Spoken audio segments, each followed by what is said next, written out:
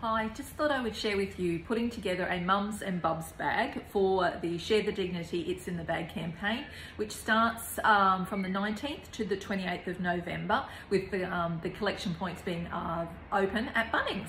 So what I'm, I'm putting to do putting together about five mums and bubs bags so I just thought I'd show you what I'm putting in mine so the, I've grabbed a large overnight style bag from Kmart and the essentials for the mum and bubs bags it's basically the same as an adult's ladies bags but then there's some essentials obviously for bubs so the essentials are shampoo and conditioner as I've given a hint before, I always pop my shampoo and conditioner in a, um, a Ziploc bag just to make sure that there is no spillage. Difference with the mum and bub bag is actually maternity style pads. Then we have the roll-on deodorant, soap, toothpaste, toothbrush. So that was shampoo and conditioner, soap, toothbrush, toothpaste, deodorant, sanitary items. So that's the seven essentials for mum. Then the essentials for bub, newborn nappies. If you can't fit them in the bag, you are still quite welcome to just tie them on to the outside of the bag. We've seen that. But in this case, these will actually fit into this, into this bag. It's going to be a lot of room. Then, so we have nappies. We have wipes. We have baby wash. We have baby shampoo.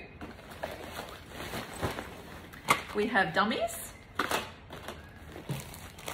We have breast pads and um, disposable nappy bags. So with these two, you are quite welcome to remove, um, like basically take some out of your packet and put them in. So in this case, I had two packets of the breast pads, which made up 80. Um, I'm making five bags, so I have 16 in each Ziploc bag. And then same as the, um, the nappy disposable bags, um, I think they were in packets of 200, so I've I had two lots of them, so I've just separated them across my bags. So that is acceptable. And then we have nappy rash cream. So that is all the essentials for mum and bubs. Then of course you've got to have some extras, um, some other niceties, and I still have room, which is great.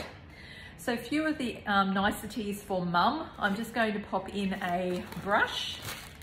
I, as, as well as this, um, the soap, I like to put in some body wash. Again, being the liquid, I put it in a Ziploc bag.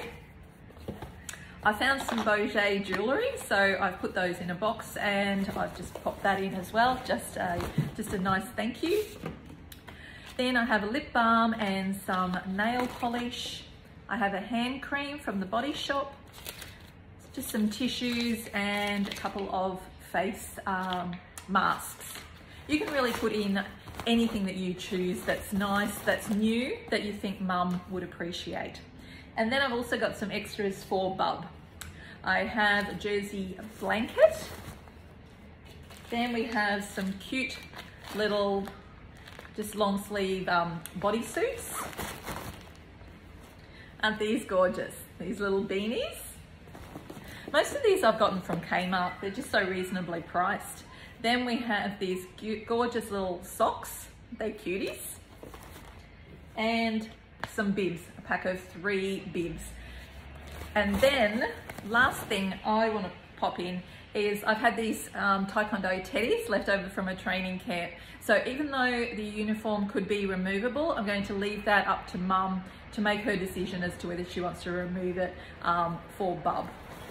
So that actually fits all in there and a zipper is a great idea. All of my bags that I've bought have zippers. It just makes it nice and neat. And then the difference or to identify um, for the Sheroes that actually collect these bags and check them. Teen bags have yellow ribbons attached. The mum and bub's bag, if you just pop something, some yellow, uh, sorry, some purple ribbon on them, certainly the mums and bubs bags are easy to identify even without these, but just makes it nice and easy for us to identify um, the type of bag that you're donating. And so that's my mums and bubs bag, one of them ready to go.